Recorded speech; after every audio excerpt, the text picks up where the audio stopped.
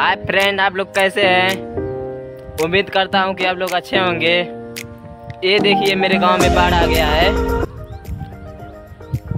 Hello भाई, आप लोग अच्छे हैं? वकील हम लोग भूले में। देखिए देखिए, पूरा बाढ़ है अच्छा है। देखिए पूरा मंदिर है, नीचे है।